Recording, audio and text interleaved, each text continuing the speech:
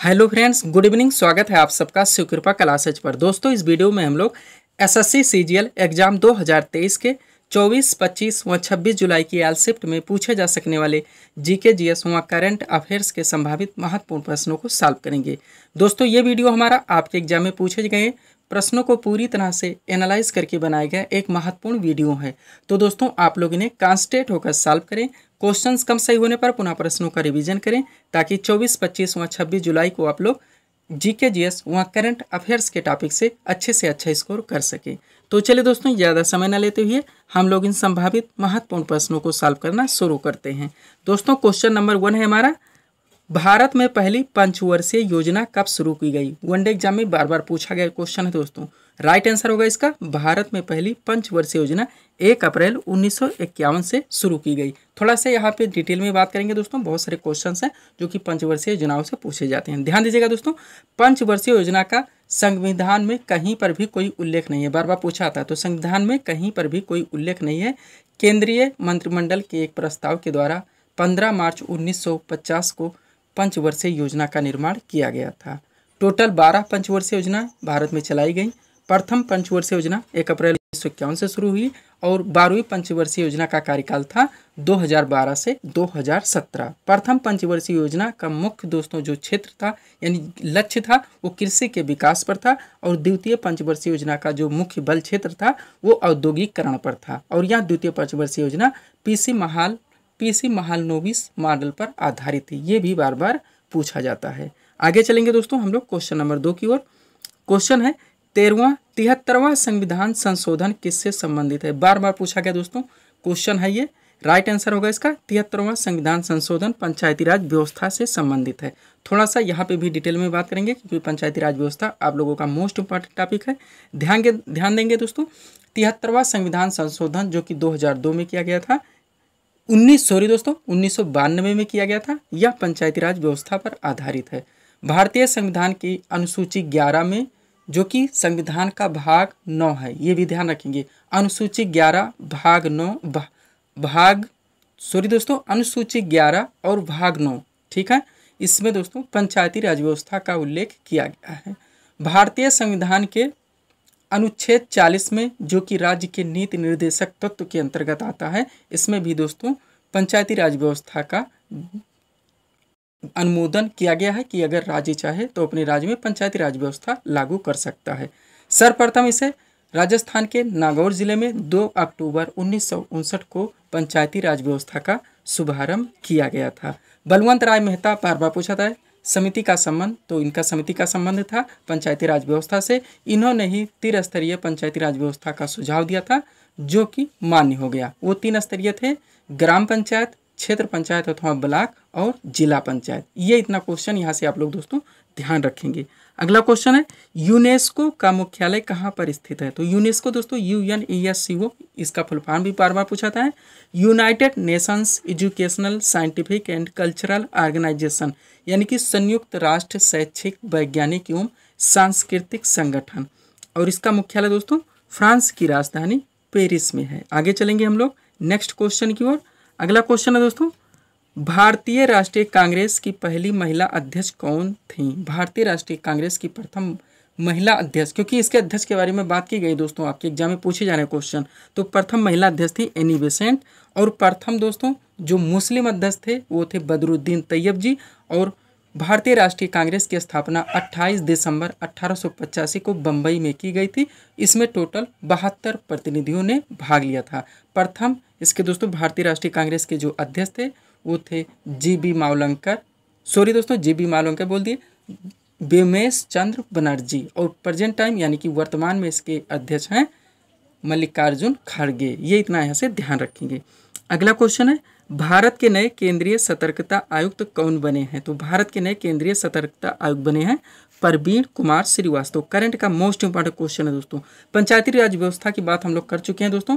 थोड़ा सा बारहवीं पंचवर्षीय योजना के बाद ध्यान रखें कि नीति आयोग दोस्तों, पंचवर्षीय योजना का समय, पंचवर्षीय योजना समाप्त कर दी गई थी और उसके स्थान पर नीति आयोग की स्थापना कर दी गई थी। कब की गई थी? एक जनवरी 2015 को। बार बार पूछा था तो दोस्तों ध्यान रखेंगे, नीति आयोग की स्थापना हुई थी एक जनवरी 2015 को और इसके जो प्रथम उपाध्यक्ष थे वो अरविंद पनघड़िया थे। अध्यक्ष दोस्तों वही होते हैं जो प्रेजेंट टाइम में प्रधानमंत्री होते हैं। उपाध्यक्ष अलग होता है। तो प्रथम उपाध्यक्ष नीति आयोग के कौन थे? अरविंद पनघड़िया और इसके सीईओ थे यानी कि चीफ एग्जीक्यूटिव ऑफिसर, मुख्य कार्यकारी अधिकारी सिंधु श्री खुल्लर। अब दोस्तों प्रेजेंट टाइम की बात कर लेते हैं। तो प्रेजेंट टाइम में नीति आयोग के अध्यक्ष हैं। नीति आयोग के उपाध्यक्ष हैं सुमन कुमार बेरी। और इसके जो सीईओ हैं प्रेजेंट टाइम में वी वी आर सुब्रमण्य भी आप लोग ध्यान रखेंगे। करंट में भी मोस्ट इंपॉर्टेंट क्वेश्चन है दोस्तों ये। नेक्स्ट क्वेश्चन, विश्व जनसंख्या दिवस कब मनाया जाता है? राइट आंसर होगा 11 जुलाई को। हाल ही में मनाया गया है, इस दृष्टि से देखें तो मोस्ट इंपॉर्टेंट क्वेश्चन है। आगे चलेंगे हम लोग, नेक्स्ट क्वेश्चन की ओर।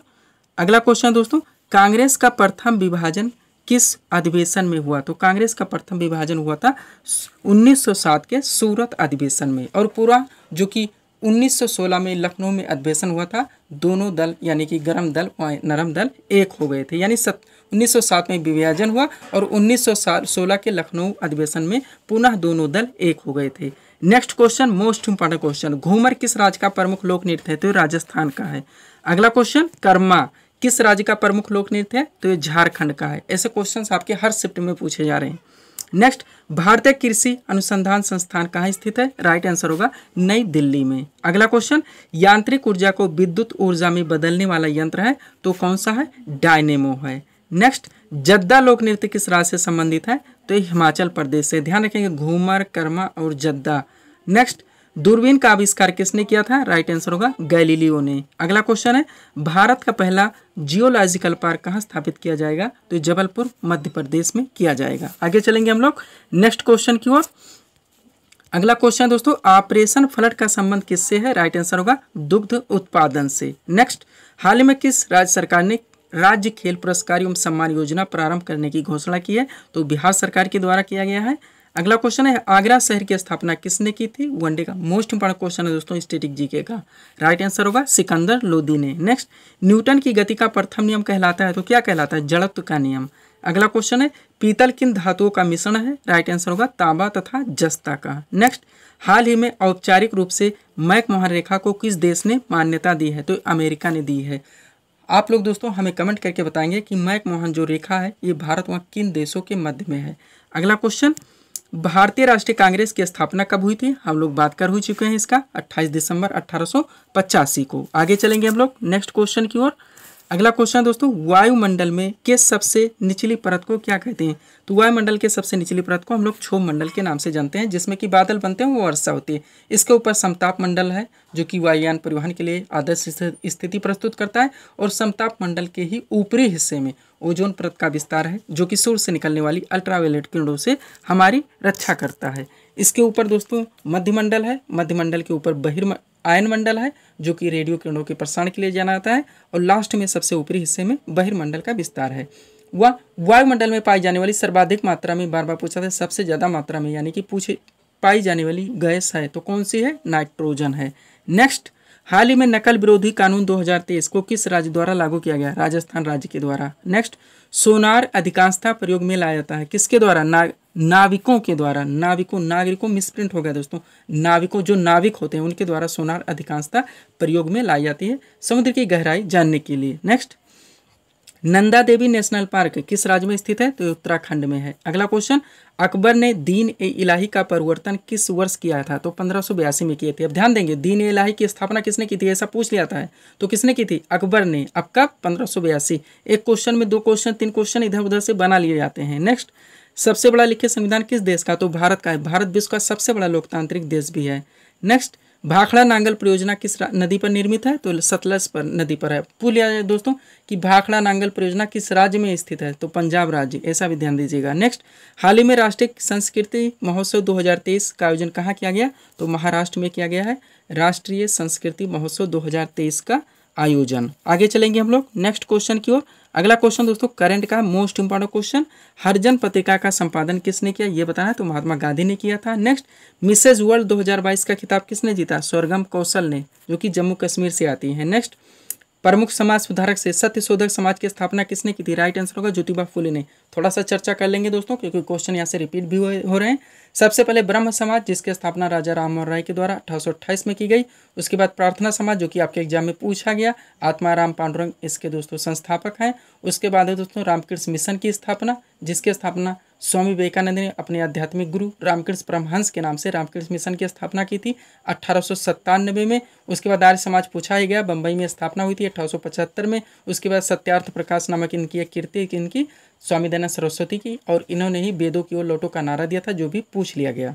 उसके बाद दोस्तों, हम लोग देख रहे हैं सत्य शोधक समाज की स्थापना तो इसकी स्थापना ज्योतिबा फूले ने की थी। नेक्स्ट शाहनामा के रचयिता कौन है? फिरदौसी हैं। ऐसे क्वेश्चन आपके ट्रेंड में चल रहे हैं।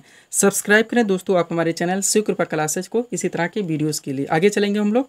दोस्तों, इसके अलावा हमारे स्टडी चैनल शिव कृपा क्लासेज के द्वारा Uttar Pradesh police constable, Delhi police constable MP police constable UP PSC RO ARO व यूपी ट्रिपल एससी से जुड़ी विभिन्न वैकेंसियों के टेस्ट सीरीज़ व मॉडल पेपर दिए जा रहे हैं। तो दोस्तों, अगर आप लोग इनके कंप्यूटर हैं, एक अच्छी प्रिपरेशन चाहते हैं तो आप हमारे चैनल शिव कृपा क्लासेस को सब्सक्राइब ज़रूर करें।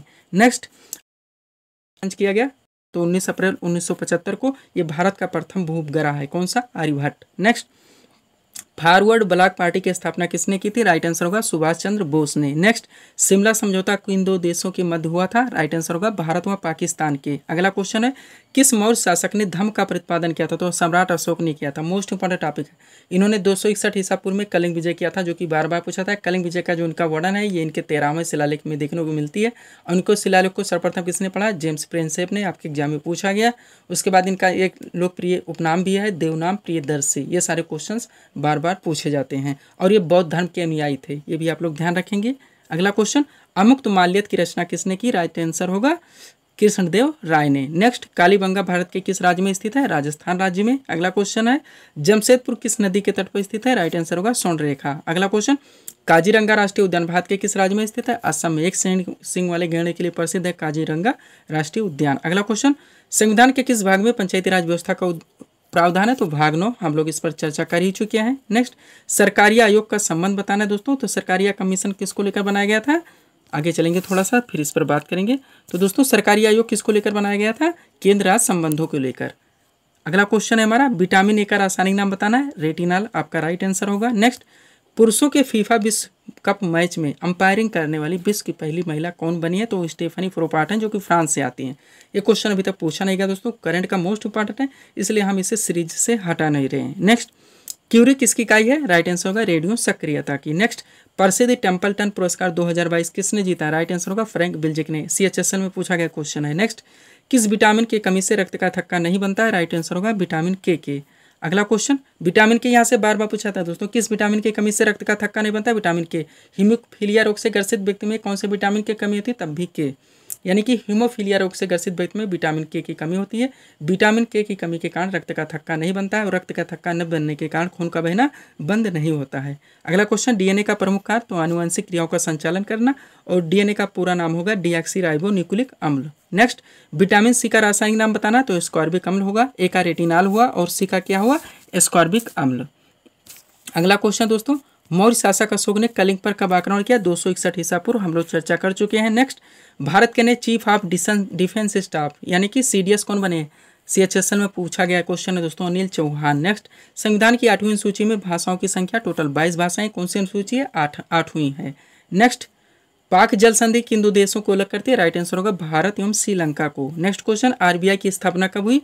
राइट आंसर होगा एक अप्रैल 1935 को। अब आप लोग दोस्तों कमेंट करके बताएँगे कि इसका दोस्तों, राष्ट्रीयकरण कब किया गया था? स्थापना एक अप्रैल 1935 को हुई थी और आरबीआई यानी कि रिज़र्व बैंक ऑफ़ इंडिया का राष्ट्रीयकरण कब किया गया? नेक्स्ट, भूकंपीय तरंगों को किस यंत्र से मापा जाता है? राइट आंसर होगा सीस्मोग्राफ से एक पैमाना है, रिक्टर स्केल, यानी कि रिक्टर स्केल पैमाना पर सिस्मोग्राफ नामक यंत्र से भूकंप की तीव्रता की माप की जाती है। अगला क्वेश्चन आगा खां कब किस खेल से संबंधित है? राइट आंसर होगा हॉकी से। नेक्स्ट संसद के संयुक्त अधिवेशन को कौन बुलाता है? तो राष्ट्रपति बुलाते हैं। इन्हें संबोधित भी राष्ट्रपति ही करते हैं और संसद का जो निचला सदन है, लोकसभा, उनको भंग करने का कार्य, ये सारे कार्य, यानी कि ये सारी शक्तियाँ राष्ट्रपति के पास हैं। लेकिन जब अध्यक्षता की बात होगी, यानी कि संसद के संयुक्त अधिवेशन की अध्यक्षता किसके द्वारा की जाती है? तब आप लोगों का राइट आंसर लोकसभा अध्यक्ष होगा। अगला क्वेश्चन देखेंगे हम लोग। क्वेश्चन है दोस्तों राष्ट्रीय विकास परिषद, यानी कि एनडीसी नेशनल डेवलपमेंट काउंसिल की स्थापना किस वर्ष की गई? उन्नीस सौ बावन में। नेक्स्ट, नीली क्रांति का संबंध बताना है तो मत्स्य उत्पादन से है। अगला क्वेश्चन, मुगल वंश की स्थापना कब हुई? तो 1526 ईस्वी में हुई थी। नेक्स्ट, महात्मा बुद्ध ने अपना पहला उपदेश कहाँ दिया? तो सारनाथ में दिए थे। महात्मा बुद्ध ने अपना पहला उपदेश सारनाथ में दिया था, जिसे हम लोग धर्मचक्र प्रवर्तन के नाम से जानते हैं। और इस सीरीज़ का लास्ट क्वेश्चन दोस्तों, भारत में गुलाम वंश का संस्थापक कौन था? राइट आंसर होगा कुतुबुद्दीन ऐबक। तो ये थे दोस्तों इस सीरीज़ के टॉप एम के प्रश्न, जिसको हम लोगों ने यहाँ पे सॉल्व किए हैं। उम्मीद है दोस्तों आप सभी लोगों ने सॉल्व किए होंगे और देखे होंगे कि यहाँ से आपके कितने प्रश्न सही हो रहे हैं। तो दोस्तों इसी तरह के वीडियोज़ के लिए आप हमारे चैनल शिव कृपा क्लासेस से जुड़ें और चैनल को सब्सक्राइब करें, ताकि हमारे द्वारा दी जाने वाली सभी वीडियोस आप क्रम से सबसे पहले देख सकें। तो मिलते हैं दोस्तों नेक्स्ट वीडियोज़ में। Thanks for watching